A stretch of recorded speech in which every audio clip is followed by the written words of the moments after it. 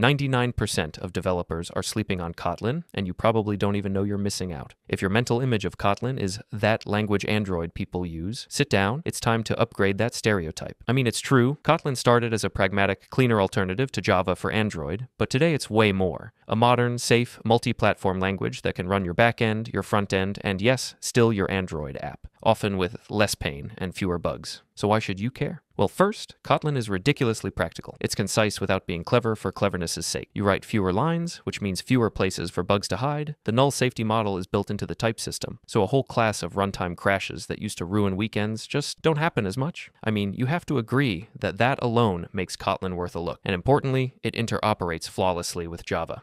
You don't have to rewrite your entire codebase. Kotlin sits on the JVM, calls Java libraries, and lets teams adopt it incrementally. Think of it as swapping your clunky toolbox for a newer Swiss Army knife. Don't worry, Java. I still love you. Beyond syntax, Kotlin brings modern features that actually matter in production. Coroutines change how you write asynchronous code. Instead of callback hell or fragile thread pools, you get lightweight concurrency that reads like synchronous code. That means simpler, safer async logic in servers and apps. A type inference, data classes, extension functions, these aren't gimmicks. They make your codebase easier to navigate and faster to iterate on. The compiler helps you catch mistakes early rather than letting them explode at runtime. In short, fewer surprises, smoother development cycles. But the real plot twist is Kotlin's reach. It's not just an Android toy anymore. Kotlin multi-platform lets you share business logic between Android and iOS and compose UI with JetBrains Compose multi-platform. Ktor is a lightweight Kotlin native web framework that makes building backends clean and fast. Kotlin native can compile to native binaries, and Kotlin runs on the JVM, on JavaScript via Kotlin JS, and on native targets. That's full stack potential without learning five different languages.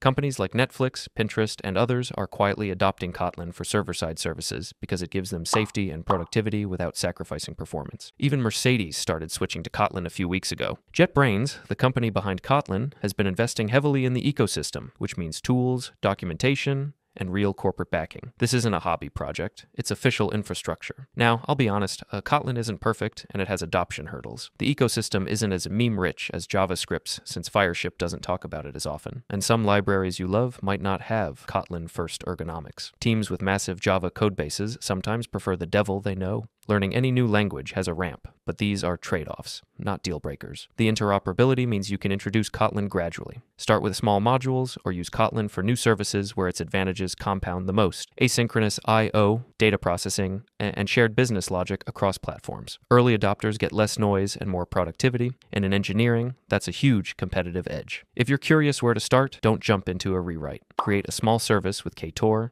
Try a Kotlin multi-platform library for shared logic, or convert a Java utility class to Kotlin and see how much cleaner it gets. Use IntelliJ or Android Studio. Kotlin tooling is excellent and the refactor tools are mature. Read Kotlin's official docs and check out community libraries like Kotlin X Coroutines and Ktor. And if you want to make fun, unique projects using Kotlin or any other language that you want to improve in, why don't you use Codecrafters, today's sponsor? Their platform gives you access to unique projects that will help you stand out from the competition without the clown shoes and nose. Want to build an HTTP or DNS server from scratch? Check. Hell, you can even craft your own version of Git, all while others are still struggling to center that annoying div in their to do app.